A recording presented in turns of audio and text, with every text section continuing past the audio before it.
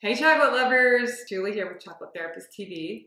Thanks for tuning in today. We are doing how to pair whiskey and chocolate, which I decided to do because I noticed on our website we have this little whiskey pairing box and this thing is on fire. We are sending out so many of these, so I know that you all are out there drinking whiskey and eating chocolate. And really, it's about time. Everyone's been all about chocolate and wine, but chocolate and whiskey is possibly the best kept secret. So if you haven't tried it, make sure you check this out.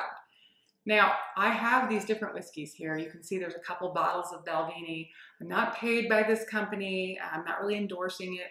I do happen to like their whiskey with chocolate because it has this little bit of a honey flavor to it. It's not sweet, but it's just, it's very easy to pair it with chocolate. But my advice on the whiskey, get the best you can afford and get your favorite because that's what's gonna give you the best experience. Don't go out and get the cheapest bottle of whiskey and a bag of M&Ms. Sorry, M&Ms, but that is not going to get the job done.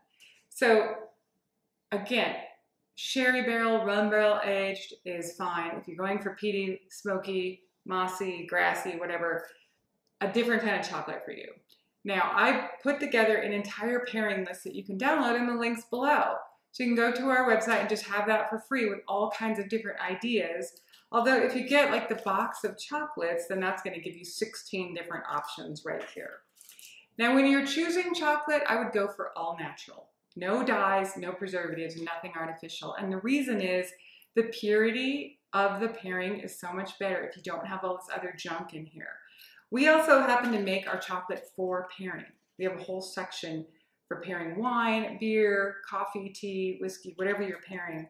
And we make it with pure chocolate and organic flavoring oils. So when you bite into it, there's no sugary dye-filled center. It's just pure chocolate with the essence of the flavor, which is why it pairs so well. Now, when you're doing the actual pairing, a little bit of whiskey, not too much. and I would suggest with the whiskey pairing, add a little bit of whiskey, you know, just to get the flavor profile going in your mouth. And then take a small bite of chocolate and get it melting. Don't throw the whole thing in there because you're going to be adding a little more whiskey to see how the flavors change. And you don't want too much chocolate in your mouth. So you take a little bite of chocolate, take a minute to get it melting, right? Swirl it around on your tongue, appreciate the flavors, and then add the whiskey at the same time and note how the flavors change. This is what makes it so fun. You can have them in there separately, but having them there together is a big adventure. Now this little square right here, if you want to do a chocolate bar, this is our Spice of Life bar and it has ginger, cinnamon, and pepitas. So if you were choosing, say, a whiskey that had a little bit of spice in it and some vanilla, this Spice of Life bar would go great with that particular whiskey. Now I'm not gonna go into all the possibilities for pairings. Download that sheet, you know, do your own pairings. The key thing is to get a bottle of whiskey and a box of chocolates and you just work your way through the whole box because every person is different. What one person likes, another person may not like. And this is where the discussions and the interactions and the fun all come in. So that is kind of all there is to it for chocolate and whiskey pairing.